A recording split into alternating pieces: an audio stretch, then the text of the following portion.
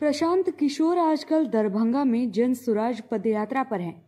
पिछले पंद्रह महीनों से वो बिहार के अलग अलग पंचायतों का दौरा कर रहे हैं। उनके निशाने पर बिहार के मुख्यमंत्री नीतीश कुमार और प्रधानमंत्री नरेंद्र मोदी होते हैं। लालू यादव को भी वो नहीं बख्शते हैं। इस बार उनके निशाने पर डिप्टी सीएम तेजस्वी यादव आ गए।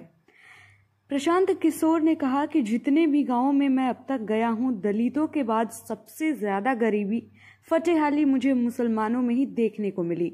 मुसलमान कहता है कि हमारे यहाँ सड़क खराब है, नली गाली ठीक नहीं है, नल जल का पानी नहीं मिलता, अस्पताल नहीं है, स्कूल नहीं है। तब मैं उनसे पूछता हूँ कि सड़क विभाग के मंत्री कौन है? तो तेजस्वी यादव। ग्रामीण विकास कार्य मंत्री कौन है? तो तेजस्वी यादव। आप कहते हैं बच्चे बीमार पड़ते हैं। अस्पताल है तो स्वास्थ्य विभाग के मंत्री कौन है? तेजस्वी यादव।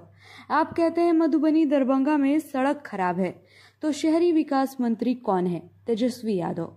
फिर जब वोट होगा तो सारे मुसलमान उठकर तेजस्वी यादव को वोट देंगे। तो सुधार कैसे होगा? तेजस्वी यादव को ये भी पता है कि लोग मुसलमान हमें ही वोट देंगे। ये बंधुआ मजदूर हैं।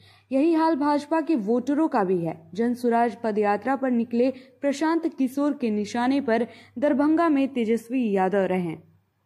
प्रशांत किशोर ने कहा कि भाजपाइयों को ये पता है कि काम हो या ना हो, जो भी लालू जी से डरते हैं, वो वोट हमें ही देंगे। अशोक पेपर मिल चालू नहीं हुआ तो मोदी जी चालू क्यों नहीं करा देते?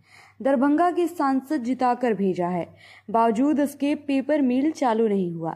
सारी शिकायतों के बाद जब वोट होगा तो लोग कहेंगे कि लालू से अच्छा तो मोदी ही है और उसे ही वोट देंगे। प्रशांत किशोर ने लोगों को बिहारियों के पीछे रहने की बड़ी वजह बताई।